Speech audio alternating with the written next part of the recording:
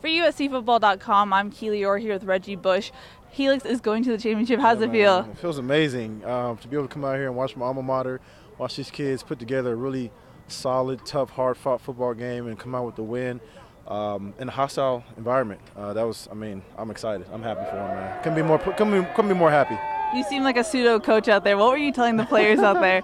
I was just trying to just coach them up, man, any way, shape, or form that I could. You know, if I saw a little something here or there, I would just let them know, tell them, you know what I mean? Just try to offer my, my advice, you know, whenever I could. So uh, that was really it, man. But these kids did a great job.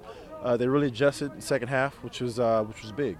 So, You look like you were loving it out there. What's it like being around football in your alma mater again? oh man, I love it. It's nothing better. I love it. I love football, man. It's, I'm passionate about it in all way, shape, or form. Have you been watching USC this season? What What is your thoughts Of about them? Of course, of course, I've been watching them. Um, I, I- I mean, we won the Pac-12 championship, and that's always the goal, right? To win the conference championship. We got that done. Um, you know, I love what we're doing on both sides of the ball. I think Clay Helton is a great coach. Uh, we got some great talent, um, you know, on the team, and and uh, you know now we got a tough test ahead of us against Ohio State. So. Ronald Jones passed you on the all-time rushing list. Was that Yeah. was that funny for you to see? What kind of kind of runner do you see from him? Uh, he runs the ball very, very, very well. You know, I love watching him. He's he's solid. Um, he's depend. He's you can depend on him. Um, he runs hard between the tackles. He's fast. He's elusive. He has all the tools. There's been ca- campaigns on Twitter to get you back at USC. Have you seen that? What do you think about that? I have not seen that, uh, but you know, uh, listen. I, I love USC. It always have a place in my heart, a special place in my heart. I love the fans. I love the people. Uh, I'm still good friends with you know all my old teammates, coaches, everybody. So, um, yeah.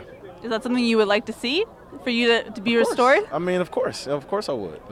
Do you wish that they would have fought that harder? Maybe the ADs would have fought that or challenged the NCAA at all? it's out of my control. You know what I mean? All I can do is control what I can control, um, and and uh, you know everything else will happen the way when it's supposed to. What's it like watching USC at home? What, what, what is your overall feeling about, about the team this season? I love them, man. I love what they're doing. Um, you know, we had some bumps in the roads. Uh, you know, we had some losses, but we bounced back. You know, I thought Sam Darnold uh, really grew up this year. Uh, he was able to bounce back, had some adversity that he fought throughout the season, uh, but then, but in the end, he, he got the job done. So you couldn't ask for much more than that. Any predictions against Ohio State? A W, a win. That's it. That's All my right. prediction. Thank you for your time. All right. Thank you. With Reggie Bush, I'm Keely Eure. For more, check out USCFootball.com.